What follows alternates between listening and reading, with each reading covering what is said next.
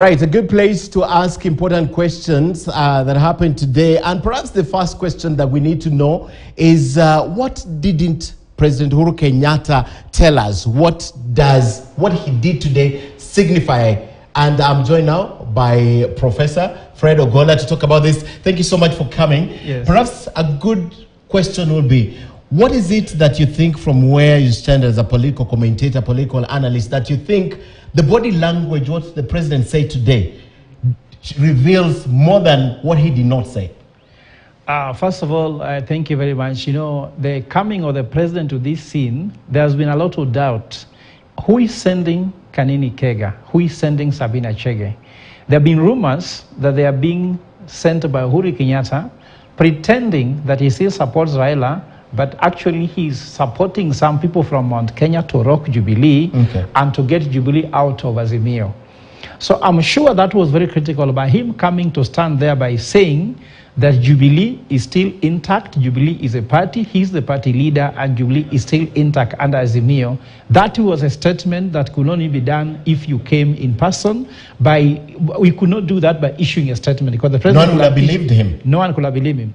The other thing, which is also very important, that uh, you say here, you know, President Uhuru Kenyatta is a prince of peace. You can say what you like. He has just received an award uh, in Ethiopia for being a peace negotiator, and I'm sure he preached peace here. He said, "Let us have peace," and he said that if uh, if Kenya Kwanza knows they won an election through Kenya Kwanza, what business do they have? So the message was being sent here that Kanini Kega and Sabina Chege and their own people are rather being sent by Kenya Kwanza scammers rather than being sent by him himself because people had that doubt. So it's very clear now that Kanini Kega and Sabina Chege are not agents of anybody in Jubilee, but they are agents of someone who is coming from outside. Okay. And of course, also, if you want to understand what this comes clearly, his message was also very clear that if Kenya Kwanza legitimately won the election using their own coalition, what is their what is their business of coming to disrupt party? That I said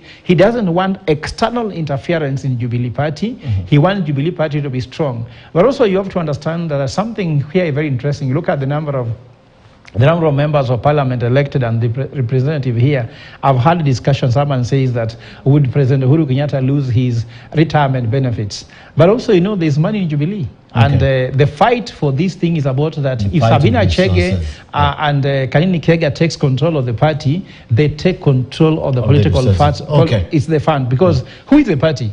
Uhuru Kenyatta could wake up with these people and form a political party tomorrow, and they'll have followers.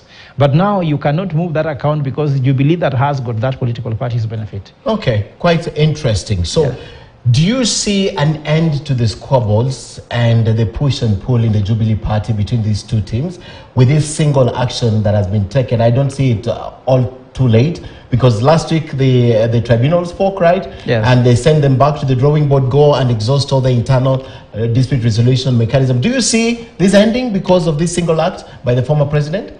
Yes, because you see that what is the ro- role and the powers of the party leader?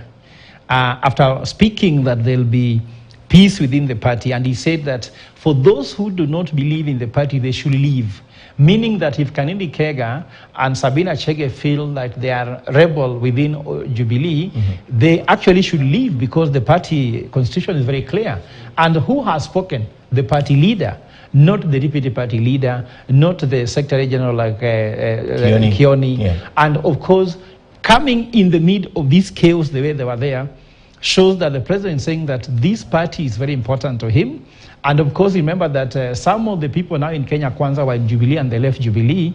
This was also another message to say that Jubilee is taking a tangent of its own. And you know, let me tell you what, um, um, uh, uh, uh, Ken. You know, if if we if we vote people to power, who do not have social capital like Uhuru had social capital, Kibaki had social capital. Some people only have financial capital, which means they buy their way into government. They can only continue by buying people, uh, sending people like uh, Kanini Kega and the rest, using money to influence because they have no social capital. Okay. And that's why the economy is suffering because now, look, at the center stage is politics, which party, who is the party leader. We should be focusing on fixing the economy. And I think the former president was very clear. Let Kenya Kwanza, focus on delivering to the people, let them leave political parties aside and focus on the economy. How does this undermine his standing? Because one, he's the only retired president. We know we didn't see Jomo Kenyatta actively because he dies in he died in office. But even after President Moi left, he kept off politics completely. And we had President Kibaki kept off politics completely. Now we have uh, President Uhuru Kenyatta, and you see President Uhuru Kenyatta is very active. How does this compromise his standing as an elder, as a, a former president in this country? First of all, I don't think there's something wrong there because you have to understand circumstances are very different. Look at how this government came to office. Look at the behavior of this government. Uh, as I told you, this government is a government that lacks social capital. And because they lack social capital, they are, when President Uhuru Ruto, Ruto came into power, you've seen what he has done. He has been trying to consolidate the power too much and suppressing the opposition. There are some MPs who have been bought. These Sabina Chege and Kanini Kega met him in his state house.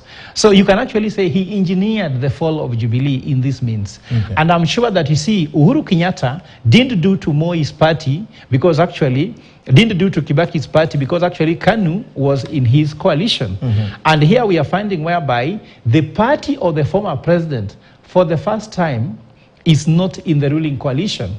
Uh, remember the one for, uh, for the one for Moi that was Kanu. It is Uhuru who was leading that party, and he didn't do what Kanini Kega is doing. So I'm saying that it should not be looked at. Uhuru, do you want him to just keep quiet when people are bungling a party?